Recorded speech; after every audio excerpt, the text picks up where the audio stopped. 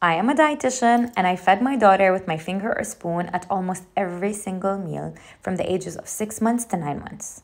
Unlike what you see on many baby led weaning accounts and what feels like all Instagram accounts nowadays. My daughter, as you're about to see, is now 10 months old and is eating independently.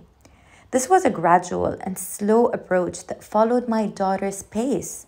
I think the pressure that is being put on parents to let their kids eat independently finger foods from six months is unnecessary.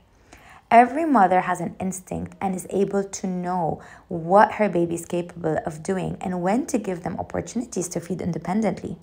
What matters is the end result babies eating adequate portions of healthy foods independently by 9 to 10 months.